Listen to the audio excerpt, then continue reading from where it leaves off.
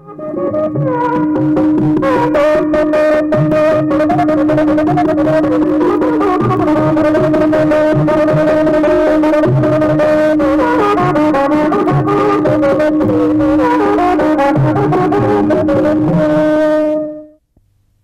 भाषा शिक्षण में आप सबका हार्दिक स्वागत है। पूर्व पाठ में हमने कई शब्दों के सातों विभक्तियों के रूपों का अभ्यास किया। इस पाठ में सर्वनाम शब्दों का अभ्यास करेंगे। नमो नमः। संस्कृतभाषाशिक्षणे भवतां हार्दं स्वागतम्। पूर्वतनेषु पाठेषु वयं विभिन्नानां शब्दानां सप्तविभक्तीनामपि रूपाणि कीदृशानि भवन्ति इति ज्ञातवन्तः। कृतवन्तः। अस्मिन् पाठे विशेषतया वयं केषाञ्चित् सर्वनाम्नां विषये ज्ञानं प्राप्नुमः। तर्हि कानि सर्वनामानि? सर्वादीनि सर्वनामानि। सर्व इत्यादीनि कानिचित् सर्वनामानि इति कथ्यन्ते। यद्यपि अनेकानि सर्वनामानि सन्ति, तथापि वयं केषाञ्चिदेव अभ्यासं कुर्मः। सर्व, अस्मद, युष्मद आदि सर्वनाम शब्द हैं। दूसरे शब्दों की ही तरह इन शब्दों का भी प्रयोग सात विभक्तियों में होता है।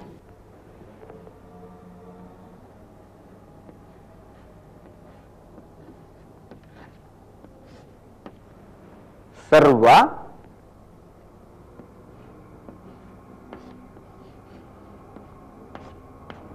तद्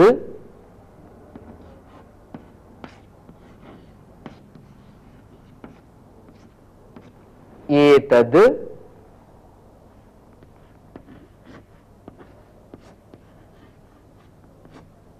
किम्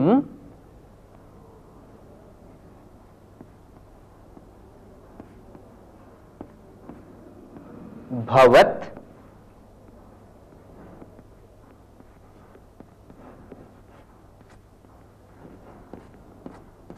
अस्मद्।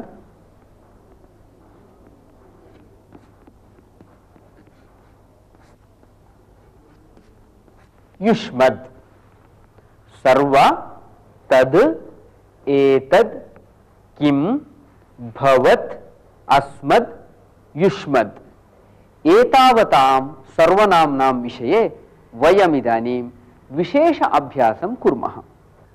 तत्र आरम्भे तद् शब्दानां रूपाणि वयं जानीमः। तद् इति दकारान्तः शब्दः।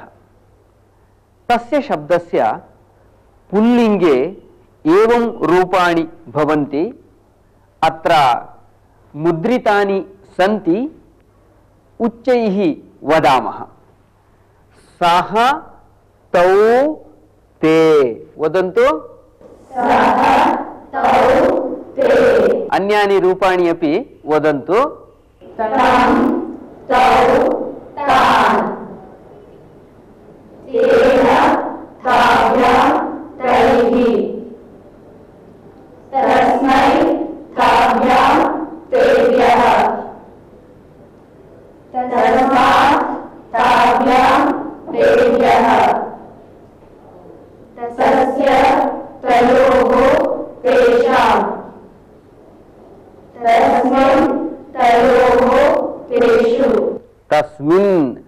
वदन्तु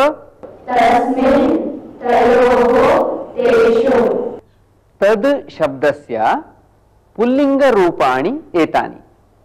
स्त्रीलिङ्गे एवं रूपाणि भवन्ति सा ते ताः।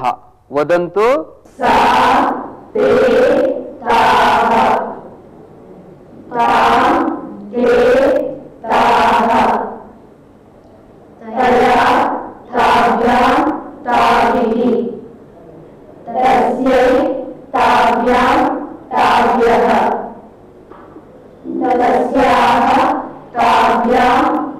उत्तम तस्याः तयोः तासाम्।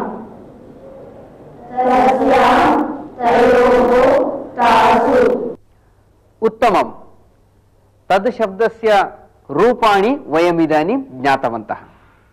वाक्ये तेषां करीय क्या कस्याः प्रयोग प्रयोगः कुत्र करणीय वयम जानी एव। इदानी तद् शब्दस्य रूपाणि उपयुज्य वाक्यानि वदामः। भवती एकं वाक्यं वदतु। तौ पाठं पठतः। ते पाठशालां गच्छन्ति। तेभ्यः क्रीडा रोचते। उत्तमं भवती वदतु। तयोः ग्रन्थयोः लेखकः कः? तेषां छात्राणां गृहाणि दूरे सन्ति। जननी तौ आह्वयति। समीचीनम्। उपविशतु। तस्मिन् वृक्षे काकः अस्ति। ताभ्यां बालकाभ्यां धनं स्वीकरोमि। तेन सह बालिका क्रीडति। तेन सह शालां गच्छामि। उत्तमं तं बालकं पश्यामि। पश्यामि। पुनः वदतु। तं बालकं पश्यामि। सः बालकः क्रीडति। उत्तमं तस्य नाम गोविन्दः। तेभ्यः पारितोषिकं ददामि। तस्मै पुस्तकं ददामि। समीचीनं तेषां गृहं कुत्र अस्ति? उत्तमं किन्तु प्रश्नः न वा? तेषां गृहं कुत्र अस्ति? पुनः वदतु। तेषां गृहं कुत्र अस्ति? तस्मिन् पाठे नीतिः अस्ति। तेषु गृहेषु के निवसन्ति? उत्तमम्। इदानीं तद् शब्दस्य स्त्रीलिङ्गरूपाणि उपयुज्य वाक्यानि वक्तव्यानि। भवती वदतु। सा माँ पृच्छति। ते देवालयम् आगच्छतः। आगच्छतः। अहं तया सह क्रीडामि। समीचीनं। सा ते आह्वयति। अहं तां बालिकाम् आह्वय आह्वयामि। आह्वयामि। पुनः वदतु। अहं तां बालिकाम् आह्वयामि। तस्याः पुस्तके चित्रम् अस्ति। समीचीनं तासु शालासु छात्राः पठन्ति। तस्यै ददामि। गच्छन्ति। ते फलं खादतः। तस्याः गृहं कुत्र अस्ति? तासां वस्त्रं सुन्दरम् अस्ति। तस्याः गृहे वृक्षः अस्ति। ताभ्यां सह अहं क्रीडामि। तस्याः शाला कुत्र अस्ति? समीचीनं। तयोः माता नलिनी। तस्यै पुस्तकं ददामि। अहं ताः पृच्छामि। उत्तमम्। तद् शब्दस्य नपुंसकलिङ्गरूपेषु अधिकं परिवर्तनं किमपि नास्ति। केवलं प्रथमाविभक्तौ द्वितीयाविभक्तौ च परिवर्तनम् अस्ति यथा, तत्, ते, तानि, तत्, ते, तानि। अन्यानि सर्वाणि रूपाणि, पुल्लिङ्गरूपाणि यथा सन्ति, तथा एव भवन्ति। वाक्ये प्रयोगः अपि सरलः। तत् पुस्तकं तानि पुस्तकानि। अहं तानि गृहाणि गच्छामि। एवम् अन्यासु विभक्तिषु अपि प्रयोगः भवति। अब आप समझ गए होंगे कि तद शब्द का पुल्लिंग स्त्रीलिंग और नपुंसक लिंग के रूप कैसे बनते हैं? वयं तद् शब्दस्य रूपाणि जानीमः चेत् एतद् शब्दस्य रूपाणां ज्ञानम् अत्यन्तं सुलभम्। तद् शब्दस्य रूपाणां पूर्वं एकारं योजयामः चेत् एतद् शब्दस्य रूपाणि ज्ञातानि भवन्ति। एवं भवन्ति रूपाणि एषः, एतौ, एते। पुल्लिङ्गरूपाणि एतानि वदन्तु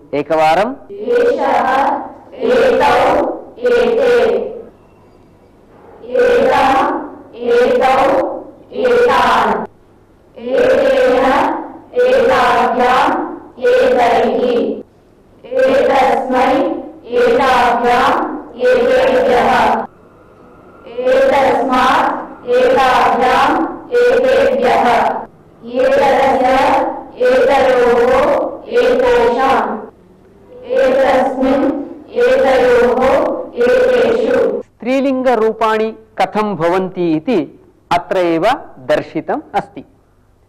वयम् इदानीम् एतेषां रूपाणां प्रयोगं कृत्वा वाक्यानि वदामः। आरम्भं करोतु। एषः गीतं गायति।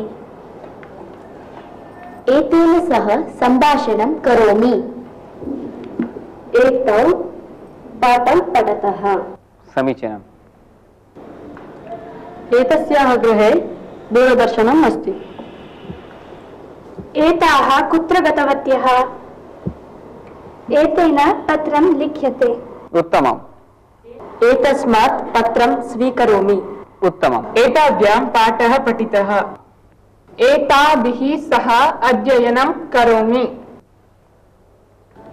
एतस्यै मधुरं रोचते एते कुत्र गच्छतः? एतस्याः गृहं विजयनगरे अस्ति। उत्तमम्। एतेषु गृहेषु मम बान्धवाः निवसन्ति। एतासु सञ्चिकासु पत्राणि सन्ति। एषा मम सखी। उत्तमम्। एतयोः गृहयोः द्विचक्रिका अस्ति। एताभ्याम् अस्ताभ्यां कार्यं करोमि।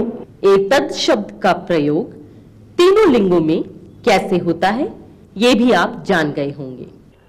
वयं प्रश्नकरणसमये किं शब्दस्य रूपाणाम् उपयोगं कुर्मः?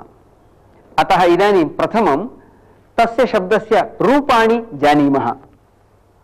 पुल्लिङ्गे एवं रूपाणि भवन्ति। कः, कौ, के। वदन्तु।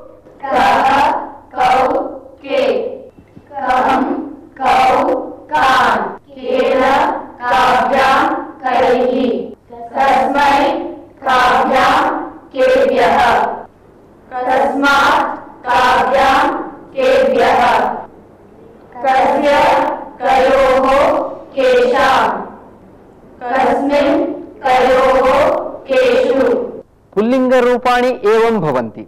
स्त्रीलिङ्गे रूपाणि एवं भवन्ति। का के काः। वदन्तु। नपुंसकलिङ्गे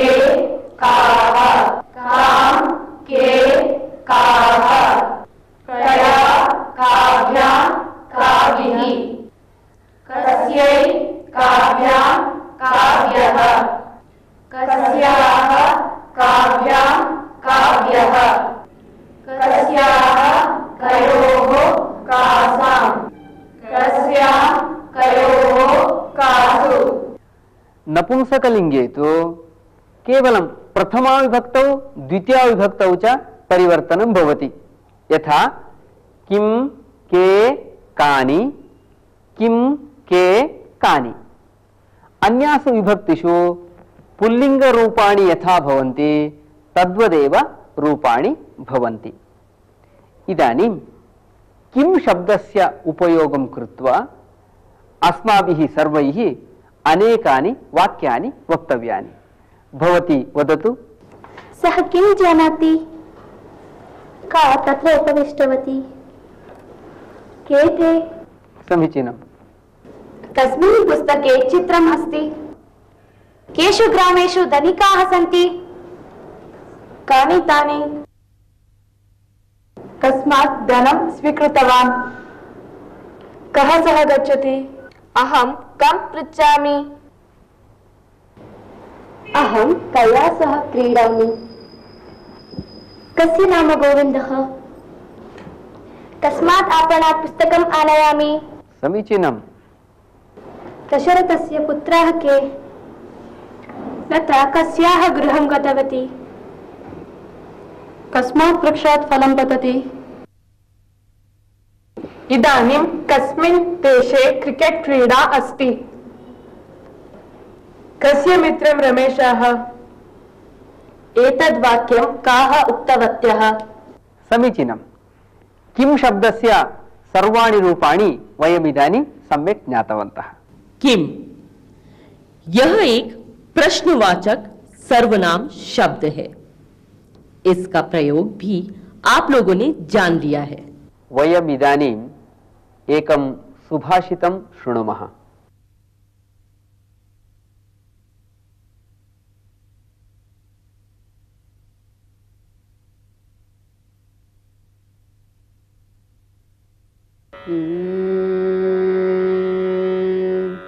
वृत्तं यत्नेन संरक्षे।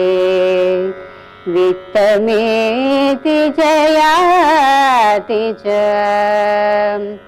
वृत्तं यत्नेन संरक्षे।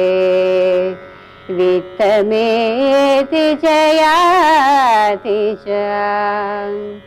अक्षीणो वित्ततक्षीणो अक्षीणो वित्ततक्षीणो वृत्ततस्तु हतो हतः। वृत्ततस्तु हतो हतः। वृत्तं यत्नेन संरक्ष्येत् वित्तमेति च याति च अक्षीणो वित्ततः क्षीणो वृत्ततस्तु हतो हतः वृत्ततस्तु हतो हतः अस्मिन् सुभाषिते चारित्र्यस्य महत्त्वं वर्णितम् अस्ति। जीवने सच्चारित्र्यस्य अत्यन्तं महत्त्वम् अस्ति। अतः सुभाषितकारः वदति, यत्नेन, प्रयत्नेन अस्माभिः वृत्तं नाम चारित्र्यं रक्षणीयम् इति। तर्हि धनस्य विषये कः विचारः? सुभाषितकारः वदति वित्तम् आयाति याति च। लक्ष्मीः सम्पत्, तस्याः स्वभावः अत्यन्तं चञ्चलः।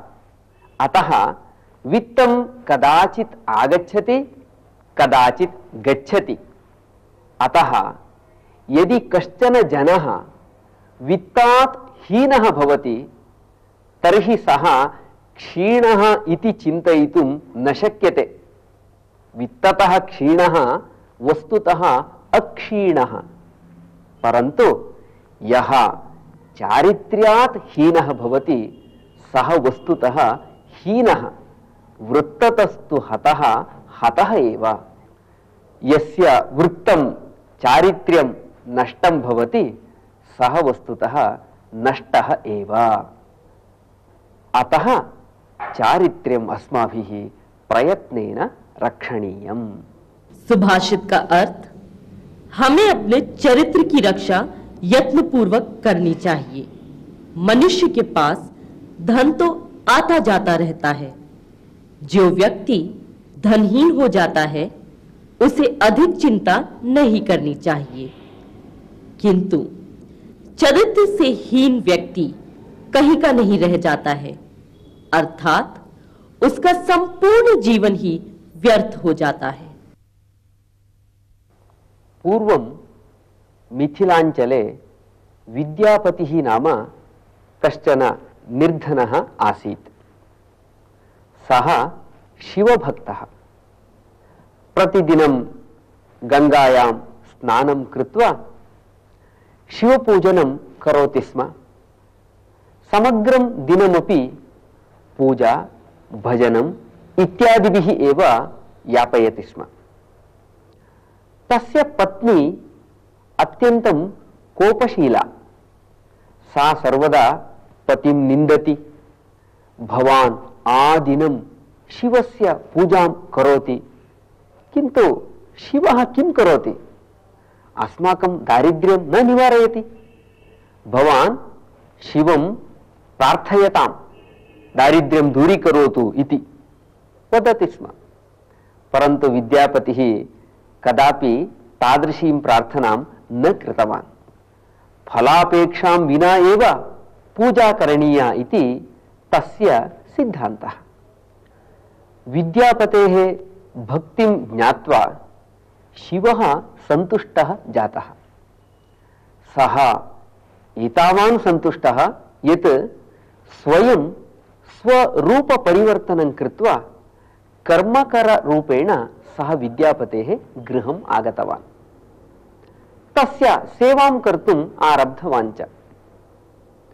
शिवस्य रूपम् अज्ञात्वा विद्यापतिः तस्य पत्नी च तेन सह सामान्यकर्मकरेण सह इव व्यवहारं कुरुतः। कानिचन दिनानि, अतीतानि? कदाचित् विद्यापतिः ग्रामान्तरं प्रति प्रस्थितः। तेन सह सेवकः अपि प्रस्थितः। पादाभ्यां तौ सुदूरं गतवन्तौ। बहुदूरगमनानन्तरं विद्यापतिः श्रान्तः जातः। तस्य पिपासा अभवत्। सः कर्मकरम् उक्तवान् कुतश्चित् जलम् आनयतु इति। कर्मकरः नाम शिवः। सर्वत्र अन्वेषणं कृतवान्, किन्तु कुत्रापि जलं नासीत्। विद्यापतेः पिपासा अस्ति ज्ञातवान्। अतः सः शिवः स्वजटाजूटात् गङ्गां बहिरानीय, सः जलमानीय विद्यापतये दत्तवान्। विद्यापतिः तद् जलं पीतवान्। तस्य आश्चर्यं जातं यतः साक्षात् गङ्गाजलस्य रुचिः आसीत्, तस्य जलस्य। सः पृष्टवान्, कुतः जलम् आनीतवान् इति। कर्मकरः उक्तवान्, समीपे एकं सरः अस्ति, ततः आनीतवान् इति। विद्यापतिः उक्तवान्, न, एतद् असत्यं यतः एतद् गङ्गाजलम् अस्ति इति। तदा कर्मकरः उक्तवान्, न समीपे काचित् नदी अस्ति, ततः आनीतवान् इति। एतदपि असत्यं। मम ज्ञानानुसारम् अत्र समीपे कुत्रापि नदी नास्ति। भवान् असत्यं वदति, सत्यं वदतु इति पुनः पुनः पृष्टवान्। तदा कर्मकरः निरुत्तरः जातः। इदानीं विद्यापतिः निश्चितवान्। निश्चितरूपेण अयं सामान्यः कर्मकरः न सः उक्तवान्, यावत् भवान् सत्यं न वदति, तावदहं जलमपि न पिबामि इति। इदानीं तु निरुपायः सन् शिवः सत्यं विचारम् उक्तवान्। विद्यापतेः महत् आश्चर्यं जातं स्वीय इष्टदेवः एव, एवमागतः इति, सः अत्यन्तं सन्तुष्टः, किन्तु कर्मकररूपेण इति सः खिन्नः अपि जातः। सः पुनः पुनः शिवं क्षमां प्रार्थितवान्। शिवः उक्तवान्, चिन्ता मास्तु। भवतः भक्त्या प्रसन्नः अहं कर्मकररूपेण सेवां कर्तुमेव अत्र आगतवान्। अग्रेपि एवमेव स्थास्यामि। परन्तु यावत् भवान् एतद् रहस्यं न उद्घाटयति, तावत् अहम् अत्र स्थास्यामि इति। विद्यापतिः अङ्गीकृतवान् अनन्तरं शिवः तेनैव सह आसीत्। तौ ग्रामम् आगतवन्तौ। कदाचित् विद्यापतिः बहिर्गतवान् आसीत्। पत्नी कर्मकरं किमपि कार्यम् उक्तवती। सः समये न कृतवान् इति सा कुपिता अभवत्। तं सम्मार्जन्या ताडितवती। तस्मिन्नेव समये विद्यापतिः गृहं प्रविष्टवान्। स्वीयं देवं ताडयन्तीं पत्नीं दृष्ट्वा कुपितः सः तां निन्दितवान्। दुष्टे, कीदृशम् अकार्यं कृतवती? एषः कः जानाति किं? भगवान् ईश्वरः इति। पत्नी पश्चात्तापम् अनुभूतवती। किन्तु शिवः स्ववचनानुसारं ततः गतः एव। विद्यापतिः अत्यन्तं खिन्नः जातः। शिवस्य ध्यानमेव कुर्वन् शिवस्य भक्तिगीतानि रचयन् कालं यापितवान्। अन्ते सः मैथिलकोकिलः इत्येव प्रसिद्धः जातः। कथायाः अर्थः ज्ञातः वा? धन्यवादः। नमो नमः। इसी के साथ ये पाठ समाप्त होता है। अगले पाठ में फिर मिलेंगे। तब तक धन्यवाद